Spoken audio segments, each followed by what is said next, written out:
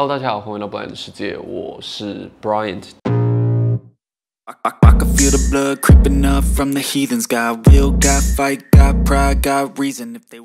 今天呢，想要跟大家探讨的主题，要跟大家分享的主题，就是我们在外面买二手表所要注意的一些事情。那么很多人就会问说，啊，为什么要买二手表？但是以现金表示的这个情况，很多表你在专柜是买不到的嘛，你常常必须要在外面的二级市场做购买，所以说一定会有机会去买到人家使用过的手表。那你有可能可以买到全新未使用，但也有很多的机会一定会买到二手表。所以今天呢，就让我来跟大家分享一下，如果我今天要购买一只二手表，我会去注意哪一些点。那在这支影片的最前面，我要先声明一下，其实如果是古董表的话，它还会有另外一套的一些需要注意的基准以及更复杂的一些检测的一些手续。那这支影片的适用程度大概就是在 Modern Watch 还有现行的表款，差不多是在可能十年以内或十年周围的手表都还适用于这支影片。那如果一些更老的二十三十年的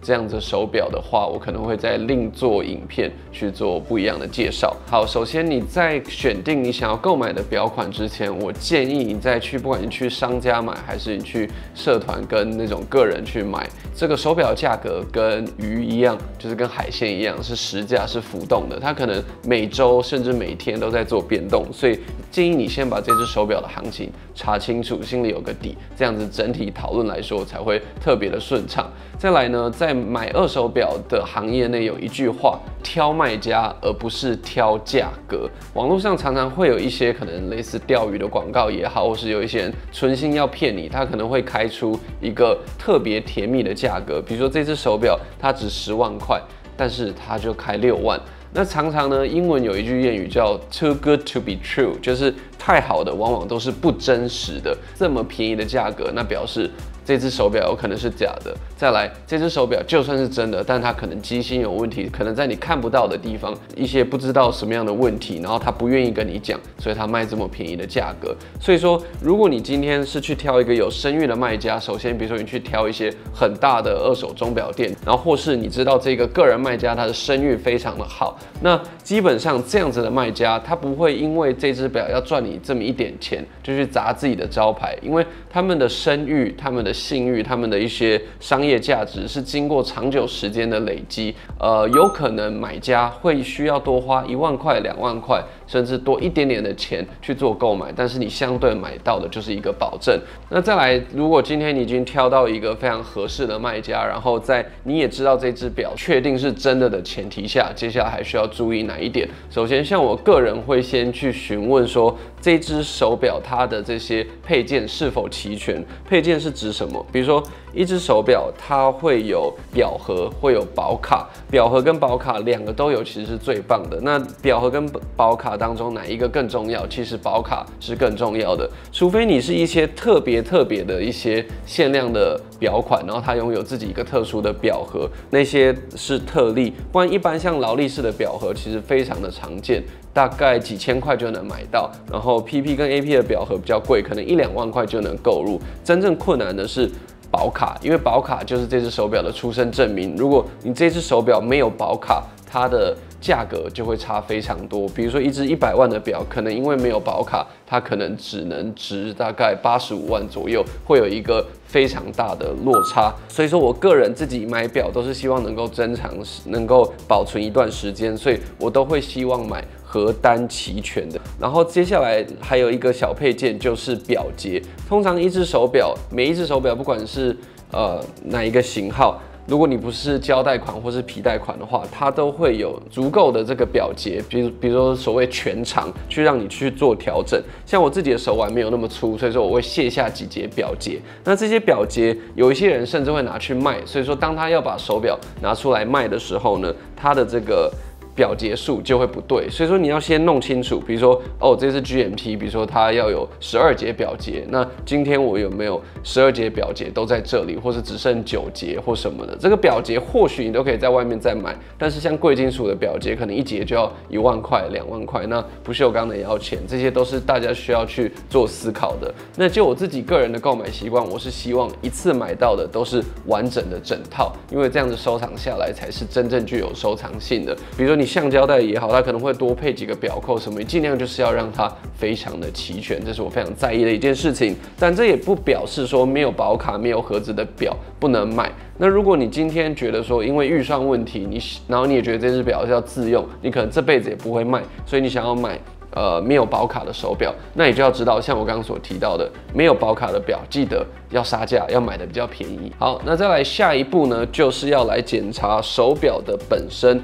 那我们先从外观来讲，这时候你应该可以自备一个放大镜，就那种小小的放大镜，那你就可以开始看这个表的整体的状况。你可以先看它的这个表壳。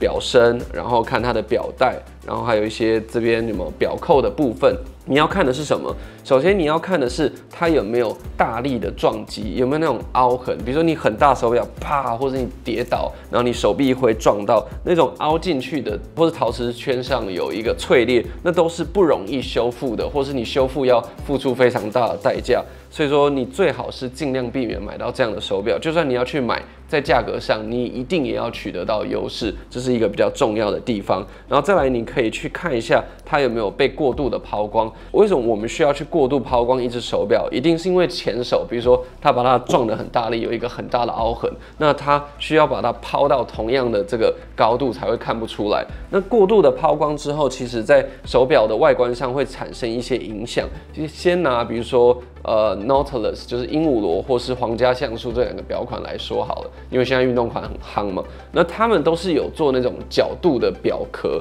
或是它的表圈上都是有那种角度，不管是八角或是四角，像 Nautilus 它不是真圆，就是有一点点方形的圆，然后更不用讲 Royal Oak 是八角。那如果你过度抛光的话，它的角度就会不够锐利，因为在出厂的时候，他们是呃表厂是做到一个完美的一个情况，就是它不会割手。但是它还看得出它是锐角，但是有时候你再稍微再抛一点，它就变圆形了。那这都会影响这只手表的外观，还有它的收藏价值。所以说你要去认真的去看一下它有没有过度抛光。那可能就会有人问说，那像劳力士这样圆圆的手表可以怎么样看得出来？其实劳力士，如果你真的去摸，像它这个表身跟表带的连接处的这个部分。你用手去摸，其实它是刺刺的，它是有一点点锐利的感觉。那如果你经过过度抛光之后，这里都会变圆，这种刺手的感觉就会不见。所以你就其实可以很单纯的用手这样去摸这些角角落，看它到底锐不锐利。然后还有这些表壳有没有这些交接处，其实这样摸都是有一点点锐利，它不会割破手指，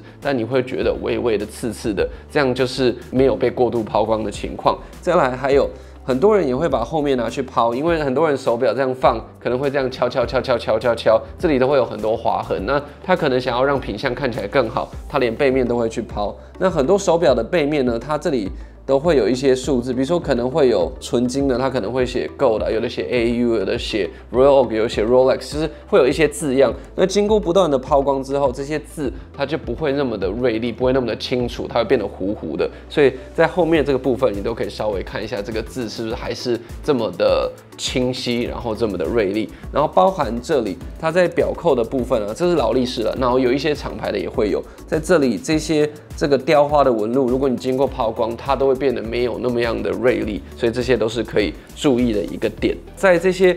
表扣，你自然在佩戴的时候，其实都会有一些痕迹产生，就算人家是有贴膜。它还是会有一些痕迹产生，这些你都可以去注意的。但是呢，我在这边想要跟大家提醒一件事情，就是如果你今天已经决意要去买一只二手表的时候，刮痕的部分就不要太在意。当然，如果你能买到一只从来没有抛过，然后呃又没什么刮痕的，那一定是一极品，一定是最棒的。但是如果你今天买的，你知道它本来就是九成五星，它的前一手就是有很认真戴，但是它可能很保护，从头到尾都没有任何的撞伤，没有任何的凹陷，但它就是像呃我我的这一只手表一样，我这只手表戴了好几年，所以说在它的下面部分你可以看到有很多刮痕。但是这个刮痕其实在二手表的世界内，不管是你是表商也好，或是你是买表的人也好，都不是太重要。为什么呢？就是今天。你确定了所有的东西都没问题，但你就发现这里很多刮痕。其实呢，你拿去给专业的师傅稍微处理、抛光一下，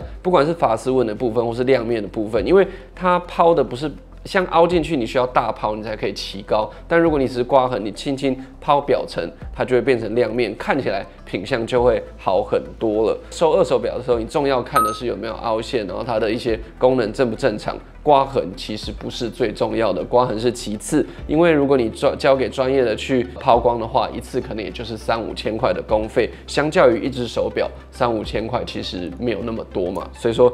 大家可能有一个迷思，说看到刮得很凶，就觉得这只表一定不能收，但其实不一定，要视情况而定。那到了最后呢，外观上都没问题之后，就来讲讲机芯以及它的功能。那今天。如果你是在一些表店交易的话，如果它有能够测百伏的机器，你最好让它测一下，确定百伏是正常的。那如果没有的话，其实我建议每一次这个交易手表的过程，可能都是二十三十分钟。从你检查前面的那些东西，到你们聊天，然后交钱、付钱等等的，几乎都是要二三十分钟嘛。所以说我建议你一开始拿到手表，好，今天假如我要买这只手表，我拿到。我就会先把这个表冠转开，然后先让它上链。比如说，你可以手动帮它上一下链，或是摇一摇，让它自动上链，然后就开始让这个时间开始走。你就可以稍微观察一下，从现在一分钟到你最后表快要交易结束，可能过了三十分钟之后，你看一下它的走时有没有问题，就是它有没有照着时间走。比如你这走到一半就停了，你就知道这只表有问题嘛。因为有的时候你看到它走个五分钟，觉得没事，你带回家带个一天，你就发现它它的走时不准或什么的，所以。你就是从一开始的时候，你就把它发条上满，然后看它行走的状况，看它走时准不准。那如果这只手表是有一些不一样的功能，比如说有计时也好，有万年历也好，非凡计时啊什么，就是各种功能，你最好都是玩玩它。比如说你计时就开始停止暂停，开始停止暂停，多玩几次，也不要说只试一次很简单就哦，OK 一次没问题就结束。你最好多试几次，因为有一些。呃，手表它可能是介于坏与不坏的临界点，或是时好时坏。那我所讲的这个检测方式，其实都还算简易的检测方式，你大概能够排除掉大概五十 percent 的疑虑。那如果后面真的有问题的话，如果你是在有声誉的买卖家的话，你可能还可以跟他要求保护或什么的。但基本上这个三十分钟的自我简单检测，算是可以排除差不多五十趴。的那种故障的手表，我觉得这是一个非常重要的事情，因为有很多人拿到手表，可能觉得我就是帅，然后我也不不想要理那个功能，但其实不对，因为手表很多人玩的是外观，但有更多人玩的是它的机芯以及它的工艺之美，所以你最好在买的时候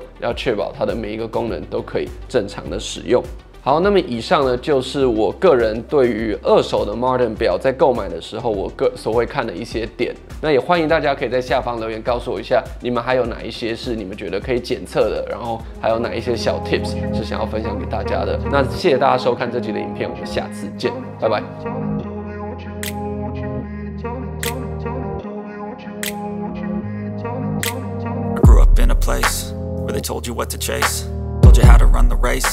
Every move is on the page